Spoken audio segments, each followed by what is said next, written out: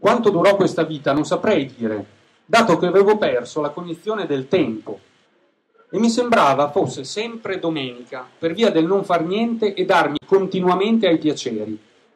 Persino la notte e il giorno erano tutti mescolati, così che non dormivo quasi mai o dormivo quando ne avevo voglia. Infatti la città gaudiosa è piena di insegne luminose che producono una luce bagliante in ogni momento, onde la notte, per il riposo e la quiete, sembra non esistere. Inoltre dormire mi pareva uno spreco, potendo continuamente solazzarmi con la sempre disponibile Dolores, che è la bambola gonfiabile. Perché una volta cominciato, più si smetterebbe. Intendo proprio la bellissima pratica amatoria, la quale più la fai, più la faresti compatibilmente ovvio con la tua prestanza, che varia da persona a persona. E io non faccio per vantarmi, ma in quei giorni ero proprio un carro armato, tanto che la povera Dolores si sarà pure stancata di accomodarsi sotto e secondare il mio piacere. Però, siccome era servizievole, silente, mai protestava e si lasciava titillare con tutto quel che segue. Comunque, per maggiore completezza, ora racconto la mia giornata tipo alla città gaudiosa, la quale era questa. Se fuori c'era il sole, mi recavo con Dolores alla spiaggia, in quanto volevo mescolarmi con i bagnanti mezzi nudi e accalcati per vedere cosa si prova. E quello che si prova è in realtà un gran caldo, e sudore, e desiderio che venga presto l'inverno a refrigerarti un poco. Ma Dolores, lei no che non sudava, dato che il lattice non suda, altro indizio questo della sua perfezione, proprio come sosteneva l'onfalo, grande imprenditore del cacchio.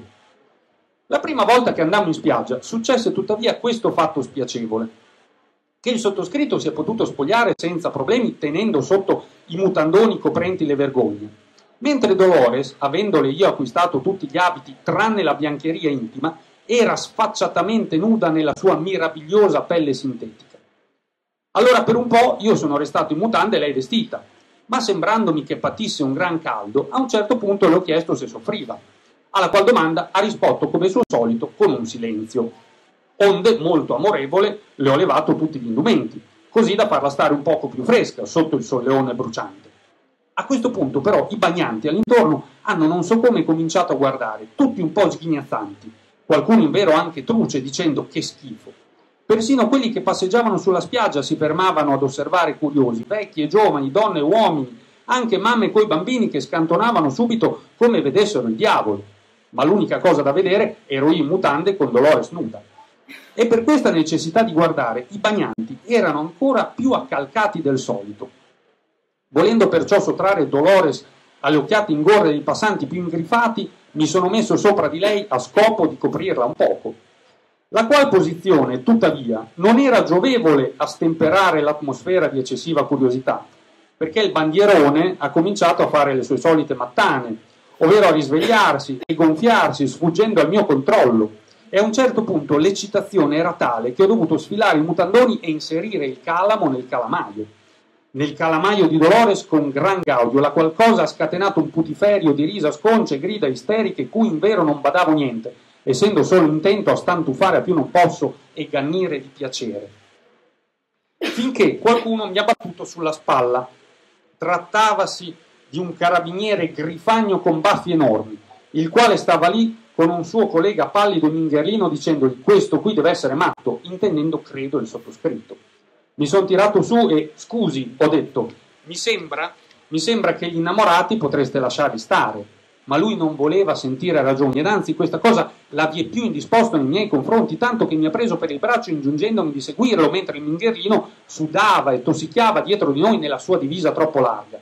Il Grifagno addirittura voleva che abbandonassi la povera Dolores e io protestavo, fossi scemo, non vede questa gente com'è vorace, se la porterebbe via seduta stante. Allora lui sbuffando ha consentito che anche Dolores venisse con noi. Perciò eravamo io con i miei mutandoni e valigette in mano, Dolores nudissima, a parte i capelli biondi che le coprivano un poco i seni e i due carabinieri in divisa d'ordinanza. Che bel quadretto. Ci hanno fatto accomodare nelle loro macchine e giù tutta una sequela di improperi nei nostri confronti e Declini le generalità, per favore, anche da quale manicomio sei saltato fuori, oppure che lavoro di merda sta dietro ai tipi come te. Così, alto un momento, ho detto, e aprendo la valigetta ho mostrato i soldi chiedendo se ne volevano un po'. Il mingherlino adesso sudava forte, eppure il grifagno sembrava colpito. Ci sono guardati diverse volte, poi il Grifagno ha tirato su un mazzetto di banconote e ha detto fa che non ti ripeschiamo più, aprendomi la portiera per invitarmi a uscire, cosa che ho fatto prontamente con Dolores sempre a fianco, mentre i due ripartivano sgommando come nei film americani. E in quell'occasione ho capito definitivamente che il soldo nella città gaudiosa ha grandissimi poteri quasi sovrumani.